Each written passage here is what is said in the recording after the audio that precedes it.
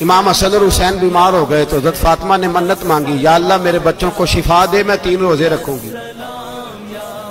اللہ تبارک و تعالیٰ نے بچوں کو شفا آتا فرما دی اور میں سمجھتا ہوں یہ کربلا کی ٹریننگ تھی۔ روزے رکھے بچوں نے۔ کس نے روزے رکھے؟ بچوں نے۔ کس نے؟ سات آٹھ سال کی عمریں بچوں کی۔ حضرت علی فرماتے ہیں، جب میں نے دیکھا نا میرے بچے بھی روزے سے ہیں تو میں کہیں سے تھوڑے سے جون لایا۔ یہ شہزادے ہیں کائنات کے سب سے بڑے۔ فرماتے ہیں، میں نے بی بی پاک کو دیے تو سیدہ پاک نے جون پیسے روٹیاں پکائیں۔ اور جب این افطاری کے وقت کھانا سامنے آیا تو دروازے پہ بھکاری آیا۔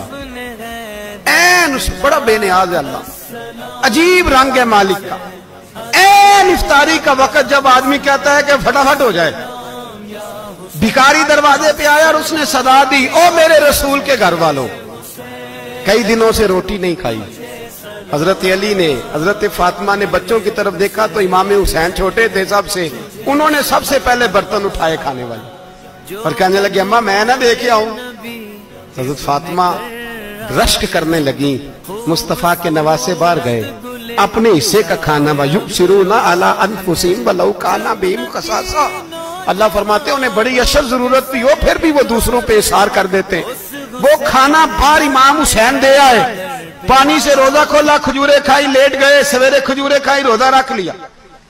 شام ہوئی تو حضرت علی فرماتے ہیں، میں پھر اگلے دن کے روزے کے لیے جون لایا، فاطمہ نے پیچھے روٹیاں پکائیں۔ دو دنوں کی بھوک تھی، پر مالک تو بڑا بے نیاز ہے۔ آزمانے پہ آیا تو اس رنگ میں این افطاری کے وقت دروازے سے آواز نکلی۔ اور مانگنے والے نے کہا کہ بھوکا بھی ہوں اور یتیم بھی ہوں۔ یتیم ہوں۔ حضرت فاطمہ کہنے لگی، بیٹا، دیر نہ کرنا۔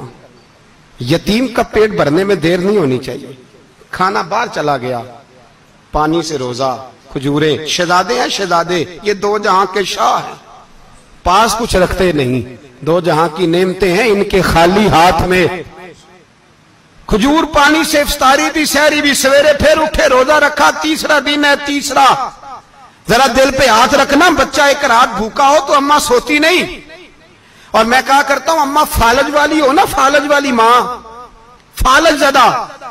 تو آدھی رات کو اس کا بیٹا جوان کہے تھوڑی بھوک لگی ہوئی تھی۔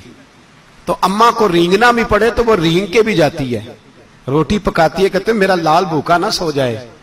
اور مصطفیٰ کی بیٹی سے زیادہ بچوں سے کون پیار کر سکتا ہے؟ اور تین دن کے بھوکے بچے، تیسرا دن آیا۔ بڑے حوصلے سے بی بی کہہ دیتی ہے، چھوڑو، ان کا تو کام ہے، یہ تو آتے رہتے ہیں۔ میرے بچے بھوکے، تم پہلے روٹی کھاؤ۔ لیکن میرے بھائی، کربلا ایسے نہیں سجتی۔ یہ جو برگر کھا کے ناراض ہونے والے بچے ہوتے ہیں، یہ میدانوں میں نہیں نکل پاتے، ان کے لیے مشکل ہوتا ہے۔ حضرت فاطمہ نے، حضرت علی نے ڈیوٹی کی، ڈیوٹی اپنے بچوں کو تیار کیا کربلا کے لیے۔ تیسرے دن جب رکھا صاحب نے کھانا تو باہر سے بولنے والا، بولا کہا میں مسکین ہوں۔ لاچار ہوں گھر بھی کوئی نہیں، کھانا بھی کوئی نہیں۔ امام حسین پھر اٹھے۔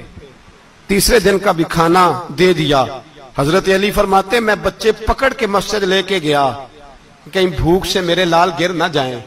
کہتے ہیں ہامتے، کامتے، تینوں شہزادے مسجد میں داخل جو ہوئے، تو بس ہماری قیمت پڑ گئی۔ مل پڑ گیا ہمارا۔ کہتے ہیں مسجد میں قدم رکھا۔ تو ایسے لگا جیسے نبی پاک ہمارا انتظار کر رہے ہیں۔ فرماتے ہیں، تیسرے دن کی مغرب پڑھنے گئے تو حضور نے تینوں باپ بیٹوں کو چہرے دیکھے۔ فرمایا، علی، یہ جبریل کھڑے ہیں اور فرما رہے ہیں، تیرے تین دن کا عمل خدا کو بھی بڑا پسند آیا ہے، محمد مصطفیٰ کو بھی بڑا پسند آیا ہے۔